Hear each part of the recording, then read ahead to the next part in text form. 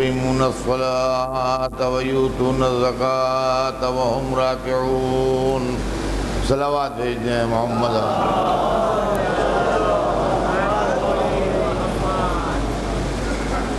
ارشاد اقدس جناب رب العزت ہے کہ یقیناً تمہارا ولی اللہ ہے اور اس کا رسول ہے اور وہ صاحبان ایمان ہیں جو نماز کو قائم کرتے ہیں اور زکوٰۃ کو ادا کرتے ہیں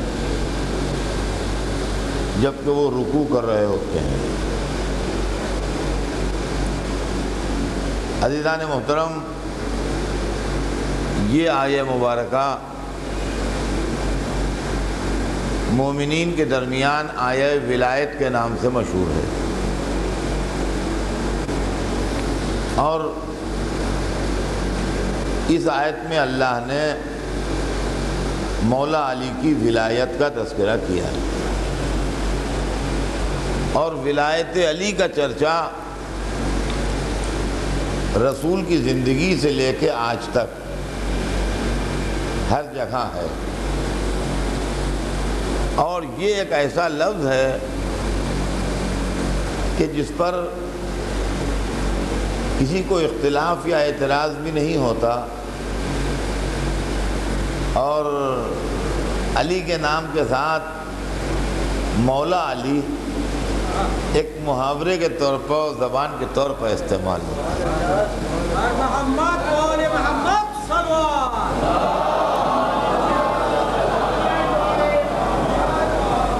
یعنی اللہ نے ایسی ولایت دی کہ لفظ مولا نام نامی کا جز بن گیا ہے۔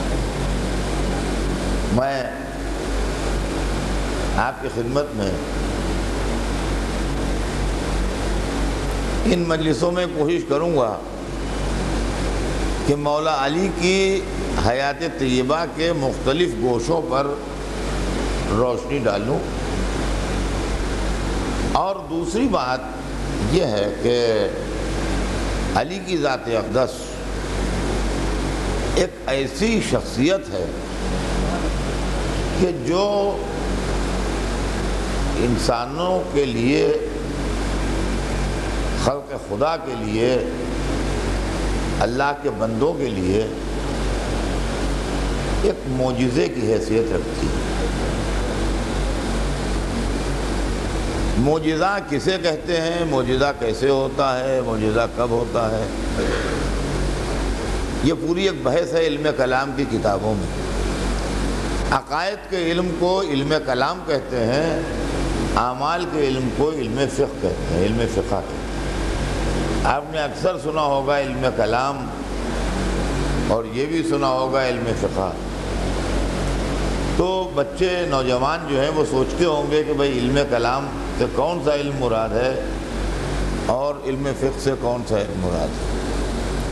تو جو علم توحید، عدل، نبوت، امامت، قیامت کے سلسلے میں ڈسکس کرتا ہے اور اس کی باتیں بتاتا ہے، وہ علم کلام ہے۔ اور جو علم نماز، روزہ، حج زکات میراث نکاح، طلاق، تجارت،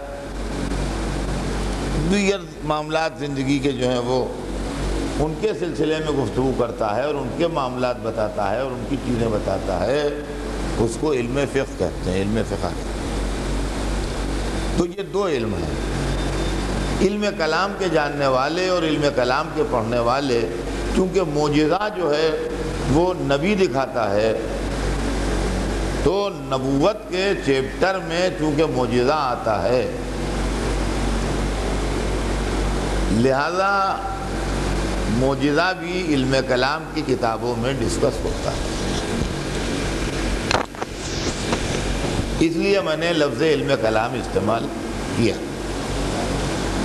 معجزہ کیا ہوتا ہے، معجزہ کیوں ہوتا ہے، معجزہ کسے کہتے ہیں؟ اس کو میں آپ کی خدمت میں عرض کرتا ہوں۔ معجزے کے لٹرل اور لفظی ڈکشنری میں جو معنی ہیں کہ وہ چیز جو دوسرے کو آجز بنا دے۔ آجز کا کیا مطلب ہے؟ یعنی جو آپ جو نہ کر سکیں۔ جو آپ نہ کر سکیں، وہ موجودہ ہے جو ہمارے آپ کے بس میں نہ ہو، وہ موجودہ ہے۔ یہ موجودہ کیوں دیا جاتا ہے؟ یہ موجودہ پیغمبروں کو اس لیے دیا جاتا ہے کہ جب پیغمبر جو شکل و صورت میں ہمارا جیسا ہے خاندان بھی اس کا معلوم ہے کہ فلاں کا بیٹا ہے، فلاں کا پوتا ہے، فلاں خاندان سے ہے، فلاں گھرانے سے ہے۔ نبی مان لو نوجوان ہے، بڈھے بڈھے موجود ہیں۔ لوگ جو جانتے ہیں کہ ان کے والد کون تھے، ان کا بچپن کہاں گزرا، ان کی جوانی کہاں۔ ہمارے سامنے کے بچے ہیں، ہمارے سامنے جوان ہوئے، ہمارے سامنے بڑے ہوئے۔ اب ایک اسٹیج پہ آ کے وہ یہ کہتا ہے کہ میں اللہ کا نبی ہوں۔ تو فطری طور سے یہ سوال اٹھتا ہے کہ آپ کے نبی ہونے کا کوئی پروف ہے؟ کوئی پروف اس بات کا ہے کہ جو آپ کہہ رہے ہیں وہ صحیح ہے؟ کوئی ثبوت اس بات کا ہے کہ جو آپ فرما رہے ہیں وہ درست ہے؟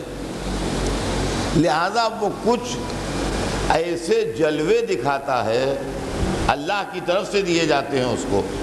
یہ سمجھ لیجیے آپ، اللہ کی طرف سے اس کو عطا کیے جاتے ہیں، وہ کچھ ایسی چیز دکھاتا ہے پبلک کو کہ جو عام انسان کے بس میں نہیں ہے۔ فرمایا ہم نے، جو عام انسان کے بس میں نہیں ہے۔ اور وہ ایک انسان دکھا رہا ہے۔ تو اس کا مطلب یہ ہے کہ اس کو کسی سپر پاور کی تائید حاصل ہے۔ یہ میں بہت آہستہ آہستہ اس لیے پڑھ رہا ہوں کہ بچوں کی سمجھ میں بات آ جائے۔ آدمی کے ہاتھ یہاں تک جاتا ہے۔ اب اگر میں ہاتھ بڑھا کے اس جھاڑ کو اتار لوں، تو یہاں بیٹھے ہوئے کسی آدمی کے بس میں یہ نہیں ہے۔ کہ یہاں پر بیٹھے بیٹھے اس کو اتار لے۔ یا میں ہاتھ بھی نہ لگاؤں، اس کو اشارہ کروں کہ اتارا وہ اتر کے نیچے آ جائے۔ تو یہ لوگ دیکھ کے حیرت کریں گے کہ صاحب یہ ہمارے کہنے سے تو نہ اترے گا، نہ ہمارے کہنے سے پھر جا کے اپنی جگہ نصب ہو جائے گا۔ یہ تو ان کے پاس کوئی طاقت ہے۔ تو یہ موجودہ ہوتا ہے۔ فرمایا ہم نے اللہ نے موجودے دیے۔ جناب موسیٰ کے ہاتھ میں ید بیضا تھا۔ یعنی جب وہ ہاتھ اپنا یوں کرتے تھے تو اس کے اندر سے ایک روشنی اور چمک نکلتی تھی۔ ایسا جب زمین پر ڈال دیتے تھے تو وہ سانپ بن جاتا تھا، اجدہ بن جاتا تھا۔ اسی طرح سے اور بہت سے پیغمبروں کے معجزات تھے۔ کبھی وہ معجزات اس لیے ظاہر ہوئے کہ ان کے دین کی سچائی سمجھانا تھی۔ کبھی وہ چیزیں اس لیے ظاہر ہوئیں کہ اللہ کو ان کی جان بچانا تھی۔ جیسے جناب ابراہیم آگ میں ڈالے گئے اور زندہ بچ کے نکل آئے، جیسے جناب موسیٰ کے واسطے دریا میں راستے بن گئے جیسے جناب عیسیٰ کے متعلق قرآن مجید میں ہے کہ اندھے کی آنکھوں پہ ہاتھ پھیرا اور اس کی آنکھیں آ گئیں اور جزام کا مرض جو ہوتا ہے لپریسی جسے کہتے ہیں، وہ بیمار آیا لاسٹ اسٹیج میں بالکل جو ہوتے ہیں اور انہوں نے اس کو دعا دی، یا اللہ سے دعا کی، وہ ٹھیک ہو گیا۔ مردے کے پاس گئے اور جا کہا کہ اللہ کی اجازت سے زندہ ہو جا، وہ زندہ ہو گیا۔ تو یہ تمام چیزیں جو ہیں، یہ اس بات کا ثبوت ہیں کہ ان کو اللہ نے بھیجا۔ حضور سرور کائنات نے اشارہ کیا اور چاند دو ٹکڑے ہو گیا۔ یہ موجودہ اور میں اور پھر دنیا میں یہ بالکل الگ کی بات ہے، میرے مضمون کی بات نہیں ہے اس وقت۔ لیکن جو کہ بات آ گئی ہے سبجیکٹ کی، اس لیے عرض کر دوں آپ سے کہ دنیا میں جتنے پیغمبروں کے معجزے تھے، وہ جس وقت دکھائے گئے، اس وقت تو لوگوں نے دیکھے، یا جس تک وہ زندہ رہے، اس وقت تک وہ معجزہ رہا۔ جب وہ دنیا سے چلے گئے تو ان کے ساتھ معجزہ چلا گیا۔ ہمیں یقین ہے کہ جناب موسیٰ کا آسا اجدہا بنتا تھا، قرآن میں ہے۔ لیکن آج ہمارے سامنے وہ چیز نہیں ہے۔ ہمیں یقین ہے کہ ابراہیم آگ سے زندہ نکلے، مگر آج ہمارے سامنے وہ چیز نہیں ہے۔ ہمیں یقین ہے کہ عیسیٰ کے کہنے سے مردہ زندہ ہو گیا، اس لیے کہ قرآن میں لکھا ہے۔ اور وہ نبی تھے اللہ کے، معصوم تھے، ان کے کہنے سے مردہ زندہ ہو سکتے لیکن آج ہمارے سامنے کوئی منزل ایسی نہیں ہے کہ ان کا کہ اس وقت کوئی معجزہ ہو تو لائیے۔ لیکن اللہ نے اپنے حبیب کو جو معجزہ دیا، وہ اس وقت بھی موجود ہے اور ہر گھر میں موجود ہے۔ اور اس کا نام ہے قرآن۔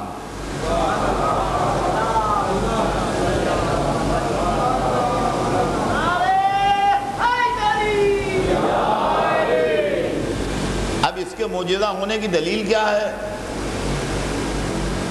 توجہ چاہتا ہوں عزیزان گرامی اس کے معجزہ ہونے کی دلیل کیا ہے؟ میں نے ابھی ابھی آپ کے سامنے جو تقریر کی ہے، وہ شاید آپ کو یاد ہوگی کہ جو آپ کے بس میں نہ ہو اور کوئی کر دکھائے۔ چاند کو دو کر دینا آپ کے بس میں نہیں ہے۔ اور کسی نے کر دیا۔ تو اس کا مطلب یہ کوئی سپر طاقت ہے، کوئی بڑا ہے جو اس کے ساتھ ہے۔ یا آرڈینری ہمارا جیسا آدمی نہیں ہے۔ سورج پلٹا لے کوئی۔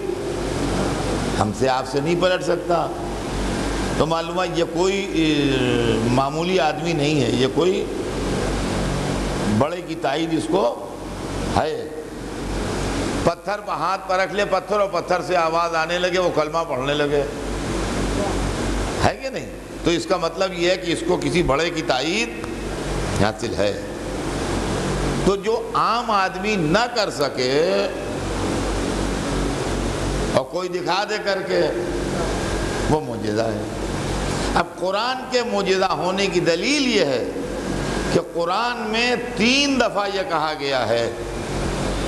توجہ چاہتا ہوں عزیزان گرامی، قرآن میں تین دفعہ یہ کہا گیا ہے کہ اس کا جیسا بنا لو۔ پہلی مرتبہ یہ کہا گیا کہ اگر تمہیں شک ہے تو اس کا جیسا قرآن لے آؤ۔ پورا قرآن کے لیے۔ اگر تمہیں شک ہے کہ یہ اللہ کا کلام نہیں ہے، یہ رسول اللہ نے اپنی طرف سے گڑھ لیا ہے، بنا لیا ہے، تو اس کا جیسا لے آؤ۔ نہیں لایا کوئی۔ انہوں نے تھوڑا ریٹ جو تھا بہت گھٹا دیا۔ قرآن میں ایک سو چودہ سورے ہیں۔ ہم نے ریٹ گھٹا کے کہا کہ اچھا دس سورے بنا لاؤ۔ ہمارے پاس ایک سو چودہ ہیں، تم دس بنا لاؤ۔ سورے بھی ہیں، چھوٹے سورے بھی ہیں۔ تو یہ بھی نہیں کہا گیا کہ جو بڑے والے ہیں، اتنے بڑے بڑے بنا لاؤ۔ اب جو چھوٹے چھوٹے سورے ہیں، ویسے بنا لاؤ۔ سورہ انا آتینا ہے، سورہ قلو اللہ ہے، سورہ ولسر ہے۔ قلعوز بن ہے قلعوز رب الفلق ہے۔ سب چھوٹے چھوٹے سورے ہیں۔ تین تین آیتوں کے، چار چار آیتوں کے سورے ہیں۔ یہ سب۔ چھوٹے چھوٹے بنا لو دس کی فیگر پوری کرنا ہے۔ وہ دس بھی نہیں لائے۔ آخر میں ان کے غرور کو جو تیسری ٹھوکر ماری گئی، وہ اتنی زبردست تھی کہ ان کن تم فی ریب مما نزلنا علی عبدنا فاتو بصورت من مثلے اگر تمہیں اب بھی شک ہے جو ہم نے اپنے بندے پر نازل کیا کہ وہ ہمارا کلام نہیں ہے، تو ایک سورہ لے آؤ، ایک۔ وہ عرب جن کے قصیدوں کے آگے سجدے ہوتے تھے اور وہ زبان و بیان کے گرویدہ جن کی واہ واہ ہوتی تھی زبان و بیان کے اوپر اور زبان و بیان کے مالک کہے جاتے تھے، ان کی غیرت کو ٹھوکر مار رہا ہے قرآن کہ ایک سورہ بنا لاؤ اور چھوٹے سے چھوٹا سورہ سورہ انا آتینا ہے۔ اگر انا آتینی کا جواب بنا لائیں تین آیتوں کا، ساری دنیا مل کے۔ ساری دنیا مل کے انا آتینا کا جواب بنا لیتی تو اسلام بھی باطل ہو جاتا اور قرآن بھی باطل ہو جاتا اور وہ چیلنج آج بھی موجود ہے اور زبان و ادب کے جاننے والے آج بھی موجود ہیں اور عربی زبان آج بھی زندہ ہے یہ بات نہیں تھی کہ رسول کی زندگی میں بنا لاؤ رسول کے بعد بھی اگر کوئی بنا لائے تو چیلنج ختم ہو جائے گا لیکن قرآن ابھی تک موجودہ ہے اس لیے کہ انسان میں کوئی ایسا نہیں اٹھا جو قرآن جیسا بنا لے۔ توجہ چاہتا ہوں عزیزان گرامی۔ اب رسول جب دنیا سے جانے لگے تو ہم کو اکیلے قرآن کے حوالے کر کے نہیں گئے، بلکہ قرآن و اہل بیت کے حوالے کر کے گئے۔ یہ کہہ کے گئے کہ انی تارکن فیکم السقلین کتاب اللہ ہے وعطرتی میں دو گراں قدر چیزیں چھوڑ کے جا رہا ہوں۔ ایک اللہ کی کتاب ہے اور ایک میری عطرت ہے، میرے اہل بیت ہیں۔ تو اگر قرآن موجزہ ہے، تو قرآن کا ساتھی بھی تو موجزہ ہو۔ تو اگر قرآن جیسا دوسرا قرآن نہیں بن سکتا، تو علی جیسا دوسرا بندہ بھی نہیں مل سکتا۔ سلامات بھیجتے ہیں، محمد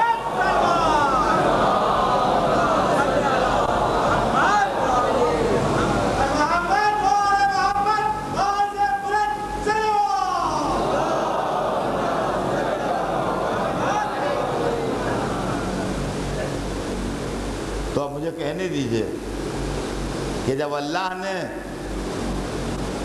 کتاب کی شکل میں اپنے حبیب کو معجزہ دیا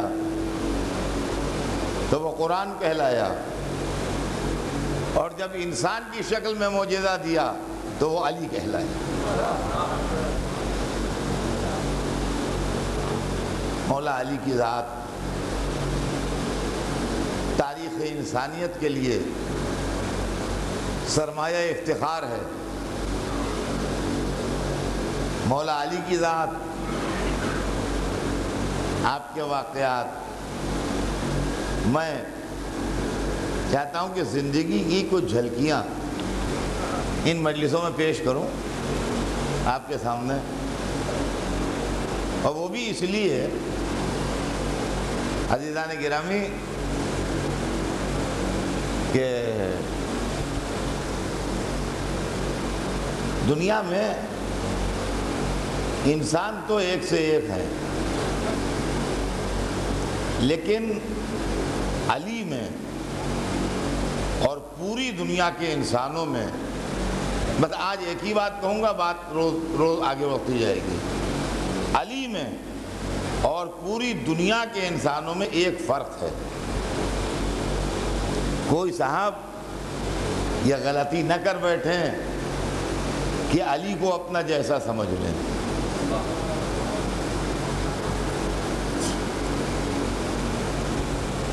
لوگ رسول کو اپنا جیسا کہتے ہیں۔ وہ تو ان کے بھی بزرگ تھے۔ کوئی صاحب ایسی غلطی نہ فرما لیں کہ سمجھ لیں علی جیسے ہم۔ اور یہ عقیدت کی بات نہیں ہے۔ دیکھیے میں عقیدت کی بنیاد پر مجلسیں نہیں پڑھوں گا۔ میں آپ کو صرف زندگی کے تجربے اور جو حقیقی واقعات ہیں اس کی بنیاد پر بات کروں گا۔ کوئی صاحب یہ نہ سمجھ لیں کہ علی ہمارے جیسے۔ اس لیے کہ انسان اللہ نے ایک ایسا مخلوق بنایا ہے کہ جس کے ٹیلنٹس اور جس کی صلاحیتیں جو ہیں، اس کا اندازہ ہی نہیں ہے کہ کتنی ہیں۔ سمندر کے قطرے گنے جا سکتے ہیں۔ آپ میں کتنے ٹیلنٹس ہیں اور کتنی صلاحیتیں ہیں، یہ ناممکن ہے کہ کوئی گنے۔ انسان کو خلق کر کے خالق نے اپنی تعریف کی ہے۔ تبارک اللہ و احسن الخالقین۔ اور مولا علی نے اس کو عالم اکبر کہا ہے۔ علی کا ایک شعر ہے جو انسان سے متعلق ہے۔ فرماتے ہیں کہ یہ آپ کو معلوم ہے کہ مولا علی شاعر بھی تھے اور دیوان حضرت علی موجود ہے آج بھی۔ دیوان حضرت علی موجود ہے، چھپا ہوا باقاعدہ پرنٹڈ آپ بازاروں میں جائیں تو آپ کو ملے گا۔ فرماتے ہیں کہ اتزم ان کا جرم صغیر۔ وفیقن توا عالم الاکبر اے انسان، کیا تو سمجھتا ہے کہ تو ایک معمولی حقیر سا، ایک جسہ ہے، ایک چھوٹا سا، ایک جرم صغیر ہے، ایک چھوٹا سا پیس ہے۔ تیرے اندر عالم اکبر پوشیدہ۔ ہے تو علی کی نگاہیں جیسے نقطہ میں قرآن دیکھ لیتی ہیں، ویسے انسان میں عالم اکبر دیکھ لیتی ہیں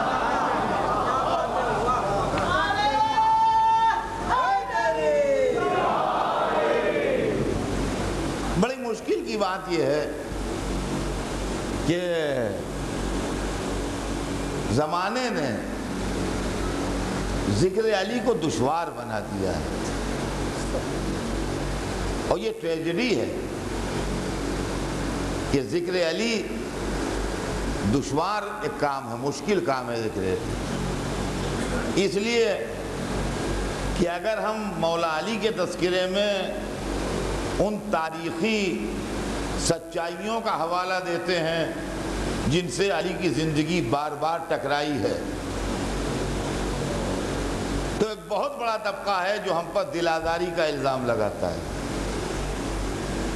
کہ کیا ضروری تھا اثر صاحب یہ چیزیں پڑھیں؟ اس سے لوگوں کی دل آزاری ہوتی ہے۔ حالانکہ وہ ہسٹوریکل فیکٹ ہے۔ اگر اس کو چھوڑ کے ان کے موجودات ان کے کرامات، ان کے وہ واقعات پڑھے جاتے ہیں۔ سارے جناب کون اس زمانے میں بلیو کرے گا؟ کون مانے گا؟ یہ جو سپر ہیومن باتیں آپ پڑھ رہے ہیں، عقیدت کی باتیں، نوجوان بچے، آپ کو نہیں معلوم آج کا ذہن کیسا ہو گیا ہے۔ تو آپ تو بس عقیدت کی بہاؤ میں بہتے چلے جاتے ہیں، لوگوں کی تھنکنگ نہیں دیکھتے۔ تو اگر تاریخی سچائیاں بیان کیجیے تو دل آزاری کا الزام لگتا ہے۔ اگر موجودات و کرامات بیان کیجیے تو اندھی عقیدت مندی کا الزام لگتا ہے۔ پھر کس طرح پیش کریں علی کو؟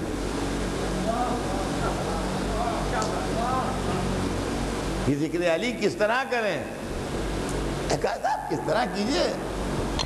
ایک آدمی تھے، ایک انسان تھے وہ، ایک انسان کی طرح سے کہیے، بہت اچھے انسان تھے، بہت نیک انسان تھے، بہت عابد انسان تھے، بہت بہادر انسان تھے۔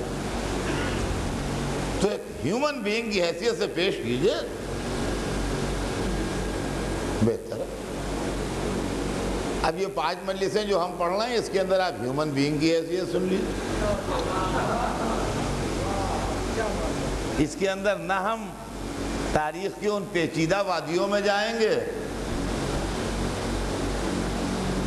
کہ جس میں دل آزاری کا الزام لگے۔ نہ ہم معجزات و کرامات پڑھیں گے جس میں خوش عقیدگی کا الزام لگے۔ ایک ہیومن بینگ کی حیثیت سے ہم پیش کیے دیتے ہیں، مولا علی کو سن لیجیے آپ۔ تاریخ انسان کی تاریخ پڑھیے جو دنیا کے بڑے بڑے انسان ہیں۔ اللہ نے ہر انسان کے اندر بے انتہا ٹیلنٹس اور بے انتہا صلاحیتیں بھر دی ہیں۔ آپ بہترین سائنٹسٹ ہو سکتے ہیں۔ آپ بہترین قانون داں ہو سکتے ہیں۔ آپ بہترین ڈاکٹر ہو سکتے ہیں۔ آپ بہترین مصور ہو سکتے ہیں۔ کسی فن میں بھی آپ جائیں، اس کے بالکل کلائمیکس تک پہنچ سکتے ہیں۔ اور دنیا میں لوگ ہیں۔ اپنی اپنی فیلڈ کے ماہر ہیں۔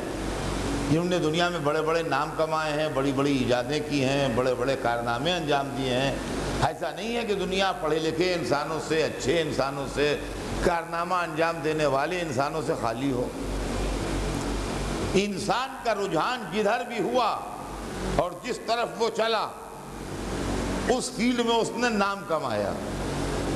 لیکن دستور یہ ہے کہ انسان جب ایک فیلڈ میں نام کمانے لگتا ہے اور ایک فن اس کے اندر ڈیولپ ہونے لگتا ہے، تو دوسری صلاحیتیں دبنے لگتی ہیں۔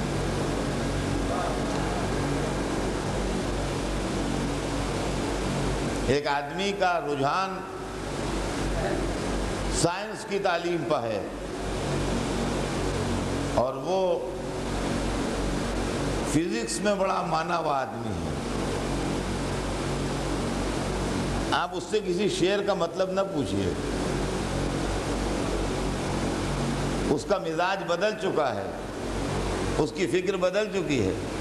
وہ کہتا ہے، کیا شعر و شاعری بس ضائع کرنے کا طریقہ ہے سب؟ ہم ہم شاعر وائر نہیں، ہم سائنسداں ہیں۔ ہم یہ سب اس چکر میں نہیں پڑتے ہیں۔ تو وہ جو ہے، اس کو وہ کچھ ادبی ٹچ ہی نہیں ہے اس کے اندر۔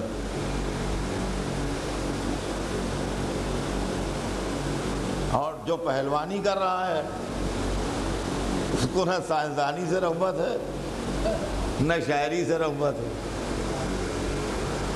اس کو صرف حرمت اپنے مسل سے، اپنے دست و بازو۔ جی ہاں۔ آدمی کا پتہ نہیں کدھر کدھر دھیان جا رہا ہے، کدھر ذوق جا رہا ہے۔ ٹھیک ہے، وہ دنیا کا سب سے اچھا ریسلر تو ہو سکتا ہے۔ لیکن پھر آپ اس کے پاس کوئی کتاب لے کے نہ جائیے سمجھنے کے لیے۔ علم کے میدان میں وہ کچھ بھی نہیں ہے۔ اور وہ اسکالر جس کی پوری زندگی کتب خانے میں اور لائبریری میں گزری ہے، اس کو آپ میدان میں لڑنے کے لیے نہ نکالیے۔ وہ لڑائی بھڑائی کے کام کا آدمی نہیں ہے۔ آپ اس سے کتابوں کے ریفرنس پوچھئے، وہ بتائے گا۔ اور جو آدمی اتنا زبردست و بہادر ہو کہ لشکر اس سے دبتے ہوں اور فوجیں اس کی صورت دیکھ کے بھاگتی ہوں اور اکیلا پورے پورے لشکروں کو بھاری پڑ جاتا ہو، اس کو آپ شب قدر میں مسجد میں رات بھر نہ لائیے۔ وہ سو رکعت نماز پڑھنے کے لائق نہیں ہے، یقین مانیے آپ۔ مسجد سے بھاگ جائے گا، چلا جائے گا زبردستی اگر آپ کی جگہ تو۔ وہ سات رکعت واجبی پڑھ لے، بہت بڑا احسان ہے۔ مغرب عشاء پڑھ لے، اگر خیریت سے آ کے تو سمجھ لیجیے بہت بڑا کام ہے وہ۔ لیکن آپ اس کو رات بھر کہیے کہ ابھی یہاں بیٹھیے گا اور ابھی سو رکعت نماز ہوگی اور پھر عمل قرآن بھی ہوگا۔ اور پھر نماز شب قدر بھی ہوگی اور پھر دعائے جوشن کبیر بھی ہوگی، وہ بہت ثواب ہے، پڑھ کے جائیے گا۔ کیسی بات کرتے ہیں آپ۔ اگر آپ مسجد میں بند کر دیجیے گا، اسے دروازہ توڑ کے باہر نکل جائے گا، مگر ٹھہرے گا نہیں رات بھر مسجد میں۔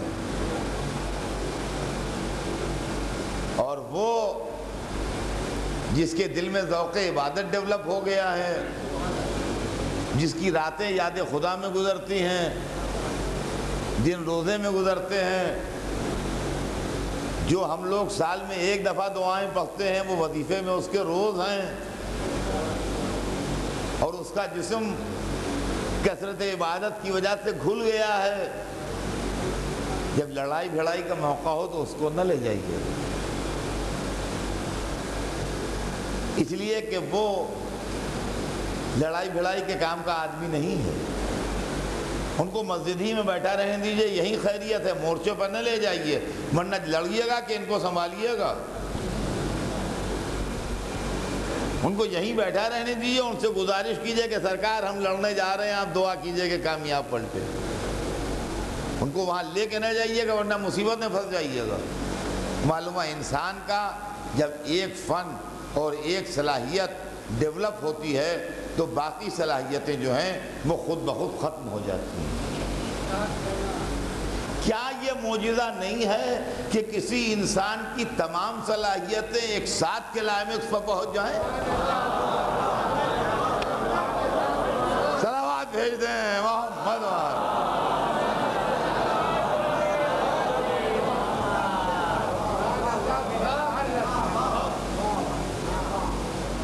آپ انصاف سے بتائیے۔ کیا یہ بات حیرت انگیز نہیں ہے؟ ایسا تو نہیں ہوتا عام طور سے۔ دنیا میں ایسا نہیں ہوتا عام طور سے۔ اس زندگی میں آپ ڈھونڈ لیجیے کوئی ایسا آدمی جس کے اندر مختلف صلاحیتیں ایک ساتھ اپنے کلائمیکس پر ہوں۔ لیکن علی کی ذات کو جب ہم دیکھتے ہیں تو کو میدان میں دیکھتے ہیں تو کوئی اور علی ہیں۔ جب ان کو محراب میں دیکھتے ہیں تو کوئی اور علی ہیں۔ جب ان کو ممبر پر دیکھتے ہیں بولتے ہوئے تو کچھ اور علی ہیں۔ جب وہ مسند درس پر بیٹھتے ہیں، پڑھاتے ہوئے اور تعلیم دیتے ہوئے تو کوئی اور علی ہیں۔ جب وہ فیصلہ کرتے ہوئے جج کی کرسی پہ بیٹھتے ہیں تو کوئی اور علی ہیں جب وہ غریبوں اور یتیموں، بیواؤں میں بیٹھتے ہیں تو وہ کوئی اور علی ہیں تو یہ کون سے علی ہیں کہ ہر فن میں بے مثال ہیں؟ اور عزیزان گرامی، یہ جو ضد ہے، یہ جو ضد ہے کہ صاحب علی کو ہیومن بینگ کی حیثیت سے پیش کیجیے۔ ہم پیش تو کر دیں گے، مگر آپ ہماری پرابلم حل کر دیجیے۔ ہماری پرابلم حل کر دیجیے۔ علی کے متعلق ساری دنیا یہ مانتی ہے کہ ان سے بڑھ کے عالم اسلام میں نہیں گزرا۔ ان کی خلافت پر کوئی جھگڑا ہو، ان کی امامت کے سلسلے میں کوئی کانٹروورسی ہو، ان کے موجز نما ہونے میں اختلاف ہو ان کو یا علی کہہ کے پکارا جائے یا نہ پکارا جائے، اس میں کوئی جھنجھٹ ہو، یہ سب کچھ قبول ہے۔ لیکن وہ بہت بڑے عالم تھے اور ان کے دور میں ان سے بڑھ کے عالم نہیں تھا، اس میں کوئی کانٹروورسی نہیں ہے۔ اور ان کے علم کو ساری دنیا مانتی ہے کہ وہ بے انتہا زبردست ایکسٹراڈنری عالم تھے۔ اور ان کے علم کا ثبوت آج بھی موجود ہے، ان کی کتاب کی شکل میں۔ جس کا نام نہج البلاغہ ہے۔ تو سوال یہ پیدا ہوتا ہے کہ علی کو ہم امام اگر کہیں گے، تو وہی ہو جائے گا دیکھیں صاحب، آپ وہ سپر ہیومن بات کرتے ہیں، ہیومن بینگ کی طرح رہنے دیجیے۔ تو اگر علی ایک آرڈینری ہیومن بینگ آدمی تھے اتنے بڑے عالم ہو گئے۔ دیکھیے، غور سے میری بات سنتے رہیے گا۔ اتنے بڑے عالم ہو گئے کہ چودہ سو برس سے ان کے علم کا ڈھنکا بج رہا ہے۔ تو ظاہر ہے کہ بغیر پڑھے تو کوئی عالم ہوتا نہیں۔ تو علی نے کسی سے پڑھا بھی ہوگا۔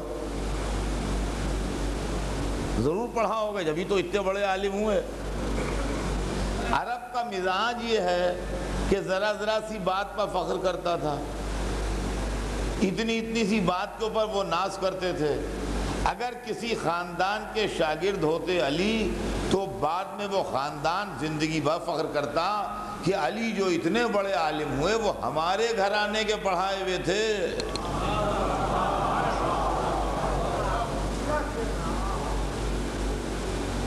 ہمارے دادا کے پاس آتے تھے وہ پڑھنے کے لیے۔ ہمارے خاندان میں فلاں بزرگ تھے، ان کے شاگرد تھے علی۔ عزیزان گرامی، یہ دنیا کا رواج ہے۔ پرانے زمانے میں بھی تھا، آپ تاریخ میں دیکھ لیجیے، اور آج بھی ہے۔ کہ اگر کوئی کسی کا شاگرد ہوتا ہے اور ایکسٹرا آرڈینری نام کما لیتا ہے تو اس کے خاندان والے اور گھرانے والے کہتے ہیں کہ یہ فلاں صاحب جو ہیں، یہ ہمارے گھرانے کے شاگرد ہیں۔ اور آج جب کالجز اور یونیورسٹیز کا سسٹم ہے، پہلے نہیں تھا۔ تو اگر کسی کالج یا کسی یونیورسٹی کا پڑھا ہوا کسی اونچی جگہ تک پہنچ جاتا ہے، تو وہ کالج یا یونیورسٹی اعلان کرتی ہے کہ یہ ہمارے یہاں کا اسٹوڈنٹ رہا ہے اور اس نے ہمارے یہاں سے رہ کے تعلیم حاصل کی ہے جو اس منزل تک پہنچا ہے۔ کسی فیلڈ میں، سیاسی فیلڈ میں، تعلیمی فیلڈ میں، آپ کے اسپورٹس کی فیلڈ میں، کسی فیلڈ میں ایکسٹرا آرڈنری نام ہو جائے اس کا، غیر معمولی نام ہو جائے، کلائمیکس پر پہنچ جائے، تو جس کالج کا پڑھا ہوا ہے، وہ کالج بھلے اس کو ایوارڈ دینے کے لیے بلائے۔ جس یونیورسٹی کا پڑھا ہوا ہے، وہ یونیورسٹی اس بہانے بلا کے اعلان کرے کہ یہ ہمارے یہاں کا ہے۔ مگر یہ کہ وہ کہتے ہیں کہ یہ ہمارا شاگرد ہے۔ سوال یہ ہے کہ علی کے علم کے ڈنکے بج رہے ہیں اور پورا عرب چپکا بیٹھا ہوا ہے، کوئی نہیں بولتا کہ علی کس کے شاگرد ہیں۔ آپ کی ضد یہ ہے کہ علی کو ہیومن بینگ کی حیثیت سے پیش کیجیے۔ سپر ہیومن کیسے؟ اب میں بھی یہی کوشش کر رہا ہوں کہ میں علی کو ہیومن بینگ کی حیثیت سے پیش کروں۔ تو اب مجھے تلاش ہے کہ علی کا علم تو ثابت ہے۔ ان کے خطبوں سے ثابت ہے، ان کے فیصلوں سے ثابت ہے، ان کے دروازے پر دوڑ دوڑ کے علم کی بھیک لینے آنے والوں سے ثابت ہے۔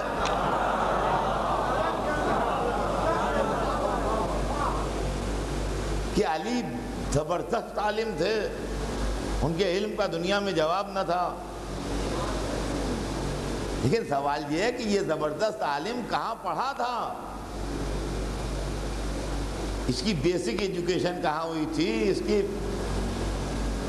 سیکنڈری اسٹیج پہ اس کو کس نے پڑھایا تھا؟ آگے کتابیں اس کو کس نے پڑھائی تھیں یہ عالم کہاں سے اتنا علم لے کے آ گیا تھا بھائی؟ تو پورا عرب کیوں؟ کوئی نہیں کہتا کہ علی ہمارے کیا کے پڑھے ہوئے تھے۔ جب مدتوں کسی نے دعویٰ نہ کیا تو ہم نے سوچا چلو علی سے پوچھیں کہ یا علی، یہ جو آپ اتنے بڑے عالم ہو گئے تو آپ کو پڑھایا کس نے؟ جو آپ اتنے بڑے عالم ہو گئے۔ اس لیے کہ دنیا میں کوئی بے پڑھے عالم نہیں ہوتا گھر میں بیٹھے بیٹھے۔ پڑھایا جاتا ہے جب ہی عالم بنتا ہے۔ تو آپ کو کس نے پڑھا دیا اتنا جو آپ اتنے بڑے عالم ہو گئے؟ تو انہوں نے ایک دفعہ نہیں، اپنے استاد کا نام دو دفعہ بتایا۔ سنیے گا ذرا۔ انہوں نے اپنے استاد کا نام دو دفعہ بتایا، ایک دفعہ نہیں۔ ایک دفعہ کہا کہ علمنی رسول اللہ زکن زکا رسول نے مجھ کو علم اس طرح بھرایا، جیسے پرندہ اپنے بچے کو دانا بھراتا ہے۔ دوسری دفعہ فرمایا، علمنی رسول اللہ الفباب، رسول نے مجھ کو ایک ہزار دروازے علم کے تعلیم کیے۔ ہر دروازے سے میں نے اپنے خود ہزار دروازے کھولے۔ خیر، وہ ان کی ذہانت کا معاملہ ہے، اس سے بحث نہیں۔ مگر وہ اس بات کو قبول کرتے ہیں کہ رسول نے مجھ کو ہزار دروازے علم کے بتائے۔ تو دو دفعہ انہوں نے اپنے استاد کا نام بتایا اور دونوں دفعہ ایک ہی نام بتایا کہ وہ رسول اللہ کے شاگرد ہیں۔ کے خیال میں مسئلہ حل ہو گیا ہوگا کہ پرابلم سالو ہو گئی کہ علی شاگرد ہیں رسول اللہ کے اور رسول اللہ استاد ہیں علی کے۔ مگر میرے حساب سے پرابلم ابھی سالو نہیں ہوئی ہے۔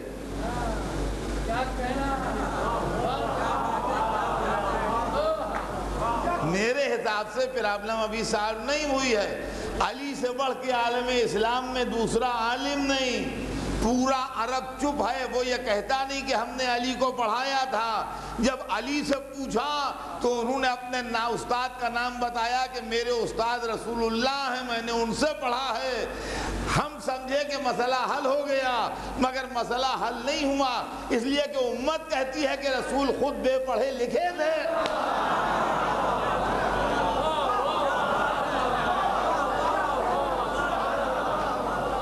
سلامات بھیج دیں محمد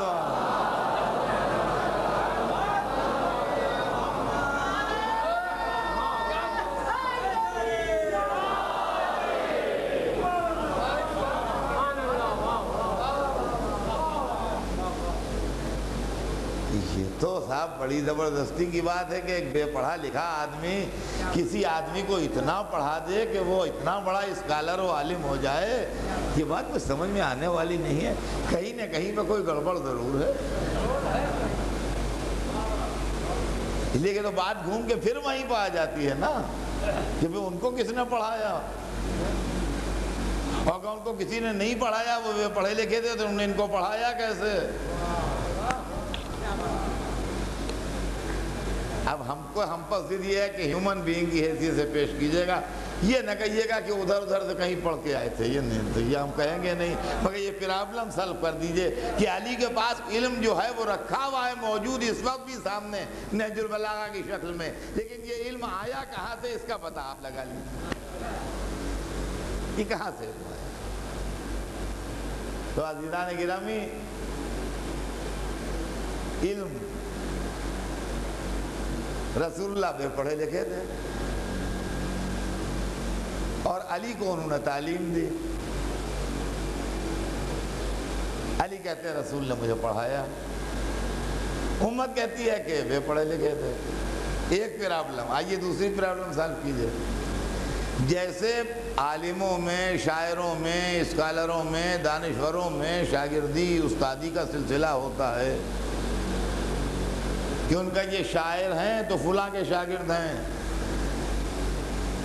اردو زبان میں ان کا یہ ناسخ کا سلسلہ ہے۔ یہ آتش کا سلسلہ ہے۔ یہ آرزو صاحب کے شاگرد ہیں۔ یہ صفی صاحب کے شاگرد ہیں۔ وہ غالب کے شاگرد تھے، وہ ذوق کے شاگرد تھے۔ یہ سب ہوتا ہے کہ نہیں ہوتا؟ ایسے عالموں میں بھی ہوتا ہے۔ یہ فلاں کے شاگرد، یہ فلاں کے شاگرد، یہ فلاں کے شاگرد۔ اچھا اب آئیے پہلوان میدان جنگ کے کھڑے، تلوار چلانے والے نیزہ باز تیر انداز، یہ بھی فن ہے، یہاں بھی شا، استادی شاگردی ہوتی ہے۔ ہو سکتا ہے بمبئی میں رہ کے آپ کو اندازہ نہ ہو لیکن اگر آپ دنیا میں نکل کے گھومیے تو آپ کو اندازہ ہوگا کہ یہ فن جو ہیں، اس کے اندر بھی شاگردیاں ہوتی ہیں۔ اس اکھاڑے کے یہ ہیں، اس اکھاڑے کے وہ ہیں۔ یہ فلاں سلسلہ ہے، وہ فلاں سلسلہ ہے، پہلوانوں میں بھی سلسلے ہوتے ہیں۔ تلوار چلانے والوں میں بھی سلسلے ہوتے ہیں۔ اس زمانے میں ایک سے ایک فنکار موجود تھے۔ ان کا ہم نے فلاں سے سیکھا۔ تو میدان جنگ میں کسی فن میں کوئی کبھی علی پا غالب نہ آیا۔ سوال یہ پیدا ہوتا ہے کہ یہ فن علی کو سکھایا کس نے؟ ارے بھائی، اگر کوئی یہ نہیں کہتا کہ ہم نے علی کو پڑھایا ہے، تو یہ تو کوئی کہے کہ تلوار چلانا علی نے ہمارے خاندان سے سیکھی۔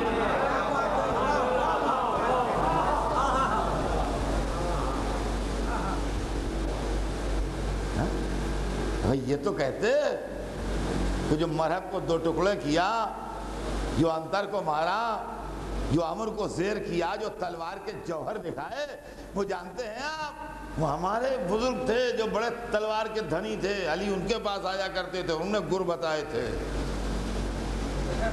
سب چپ، سب خاموش، کوئی کچھ نہیں کہتا۔ علی کو نیزہ بازی کس نے سکھائی؟ علی کو تلوار چلانا کس نے سکھایا؟ علی کو میدان جنگ کے گر کس نے بتائے؟ اور پھر علی نے خالی علمی دنیا میں موجودے نہیں دکھائے ہیں، بلکہ میدان جنگ میں بھی موجودے دکھائے جو دشمن کی زبان اقرار کرتی ہے یہ میرے مولا کے خطاب ہیں۔ ہم نے تو خالی کتنا سن لیا ہے کہ علی بہت بہادر تھے۔ علی نے میدان جنگ میں موجودے دکھائے ہیں۔ الظالم بالسیفین کبھی کبھی یوں لوٹتے تھے میدان جنگ میں کہ دیکھیں ایک عجیب و غریب چیز ہے جو واقعی کچھ باتیں سمجھ میں نہیں آتی، مگر تاریخ لکھتی ہے کہ ایسا ہوا ہے۔ دو ہاتھوں کا الگ الگ ایکشن ہونا یہ بہت مشکل کام ہے۔ مشکل نہیں، ناممکن ہے، پاسبل نہیں ہے یہ۔ اس ہاتھ کا ایکشن الگ ہو اور اس ہاتھ کا ایکشن الگ ہو۔ اور دونوں ایکشن پراپر ہوں، گڑبڑ نہ ہو جائے۔ علی کے لیے ہے کہ سارے وہ بھی سیفین کبھی کبھی ایسا ہوتا تھا کہ دونوں ہاتھوں میں تلوار لے کے حملہ کرتے تھے، تو یہ ہاتھ ادھر کاٹ رہا ہے، یہ ہاتھ ادھر کاٹ رہا ہے۔ وَالتَّائِنُ اور دو نیزے ہاتھ میں لے کے حملے کرتے تھے۔ تو دونوں نیزوں کا ایکشن الگ الگ ہے۔ یہ میدان جنگ کا بریکل ہے۔ یہ موجودہ ہے۔ مگر یہ علی کی تاریخ کے اندر لکھے ہوئے جملے ہیں، میرے گڑھے ہوئے جملے نہیں ہیں۔ یہاں تو سوال یہ یہ فن علی کو کس نے سکھایا؟ علی سے پوچھا کسی کوئی تو بولا نہیں۔ پھر علی سے پوچھا، یا علی، آپ کا بچپن نوجوانی کس کے ساتھ گزری؟ تو کہا، میں رسول اللہ کے پیچھے پیچھے اس طرح گھوما کرتا تھا، جیسے اٹھنی کا بچہ اس کے پیچھے پیچھے۔ اچھا تو ہو سکتا ہے تلوار چلانے کا فن بھی آپ کو رسول اللہ نے سکھایا ہو۔ ہو سکتا ہے نیزہ بازی کا فن بھی آپ کو رسول اللہ نے سکھایا ہو ہو سکتا ہے فن سے پہگری آپ کو رسول اللہ نے سکھایا ہو، مگر ان کے متعلق تو یہ مشہور ہے کہ وہ رحمت نے کبھی تلوار اٹھائی ہی نہیں۔ تو اب سوال یہ پیدا ہوتا ہے، بتایا کس نے؟ عزیزان گرامی، بس یہی مشکل مسئلے ہیں کہ جن کو سمجھنا، سمجھانا ناممکن ہے۔ کہ علی کو یہ ٹریننگ ملی کہاں سے کہ جب وہ مسند قضا پر بیٹھے فیصلہ کرنے کے لیے تو ان سے بڑھ کے خط بہترین یعنی جج نہ تھا اور جب وہ علم میں درس دینے بیٹھے تو ان سے بڑھ کے استاد نہ تھا اور جب وہ تقریر کرنے بیٹھے تو ان سے بڑھ کے مقرر نہ تھا اور جب وہ تلوار چلانے آئے تو ان سے بڑھ کے تلوار چلانے والا نہ تھا اور جب وہ عبادت کرنے آئے تو ان سے بڑھ کے عبادت کرنے والا نہ تھا اور جب وہ رحم دلی کے میدان میں آئے تو ان سے بڑھ کے رحم دل نہ تھا اور جب وہ سخاوت کے میدان میں آئے تو ان سے بڑھ کے سخی نہ تھا۔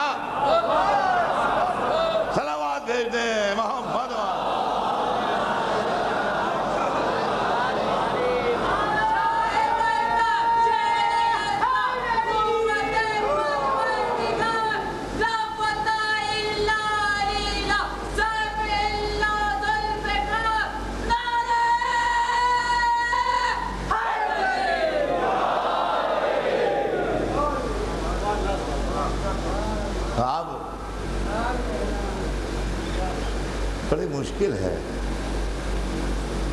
کہ اگر ہم مولا علی کو ایک عام آدمی کی حیثیت سے پیش کریں تو کیسے پیش کریں؟ لیکن عام آدمی ہمیں ان صلاحیتوں کا مالک دکھائی نہیں دیتا۔ اور خدا کی قسم دنیا میں دوستوں کے ساتھ حسن سلوک کرنے والے تو مل جائیں گے۔ مگر دشمن کے ساتھ حسن سلوک کرنے والا نہ ملے۔ گا علی، اس عظیم شخصیت کا نام ہے جن نے تاریخ انسانیت کو حیرت میں ڈال دیا، اپنے قاتل کے لیے وصیت کر۔ عزیزان گرامی، آپ کو معلوم ہے کہ آج کون سی رات ہے۔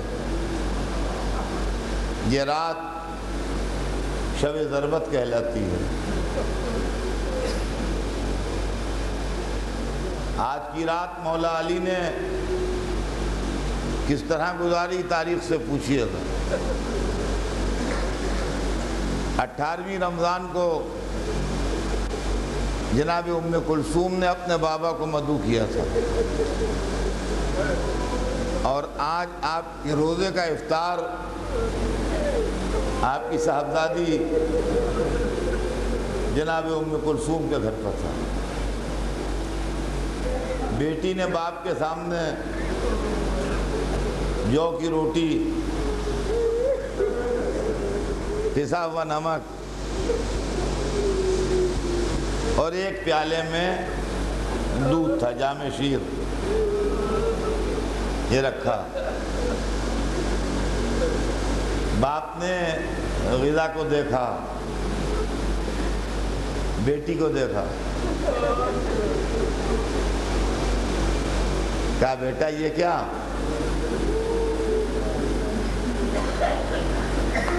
کیا تم نے کبھی اپنے باپ کو ایک وقت میں دو چیزیں کھاتے دیکھا؟ یہ ذلیل دنیا کیا علی کے سامنے آ سکتی ہے؟ جس کو علی نے کبھی مڑ کے دیکھا ہی نہیں۔ بیٹا، کبھی تم نے اپنے باپ کو ایک وقت میں دو چیزیں کھاتے دیکھا؟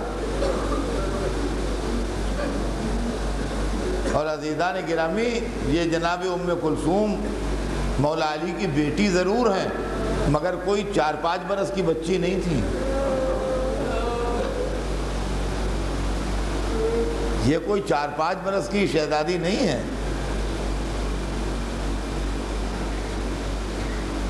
جناب ام کلثوم کی ولادت سن آٹھ ہجری کی ہے۔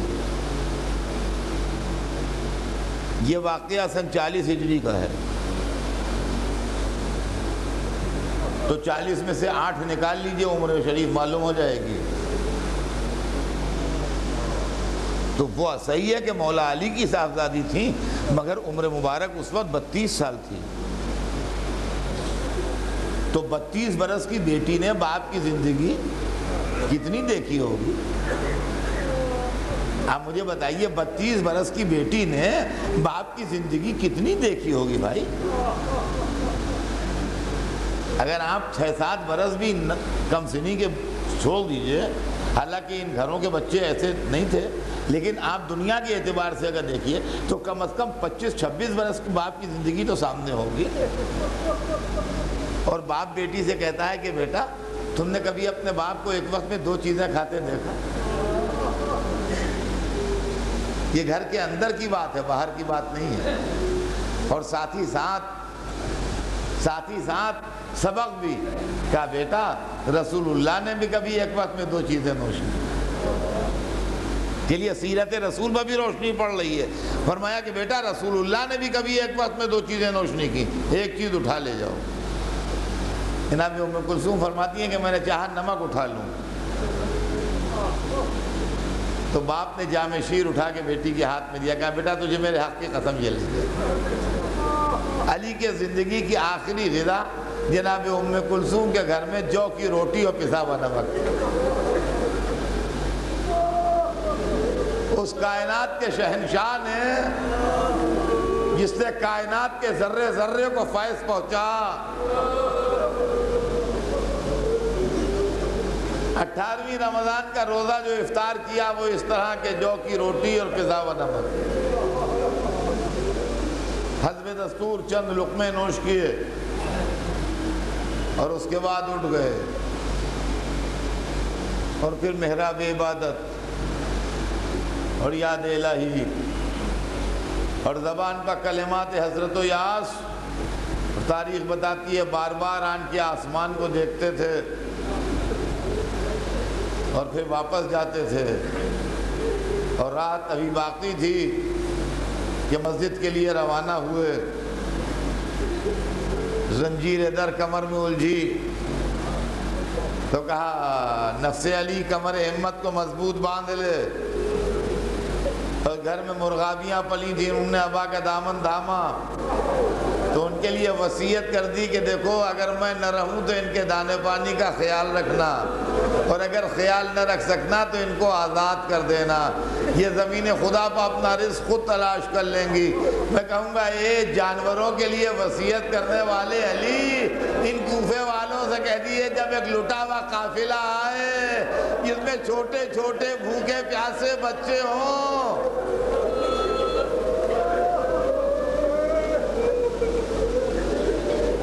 امام حسن علیہ السلام اپنے بابا کے پیچھے پیچھے آئے۔ راستے میں ملاقات کی۔ کہا، بیٹا، میں نے خواب دیکھا ہے۔ اور اگر وہ خواب صحیح ہے تو تیرا باپ ضرور شہید کیا جائے گا۔ کہا، بیٹا کہا، بابا، میں آپ کو جانے نہ دوں گا، اس طرح کہا، نہیں بیٹا، تجھے میرے حق کی قسم پلٹ امام حسن واپس آئے، علی مسجد میں آئے۔ سونے والوں کو جگایا۔ عبادت میں مشغول ہوئے۔ وہ صبح کی نماز نہ تھی، تعقیبات تھے۔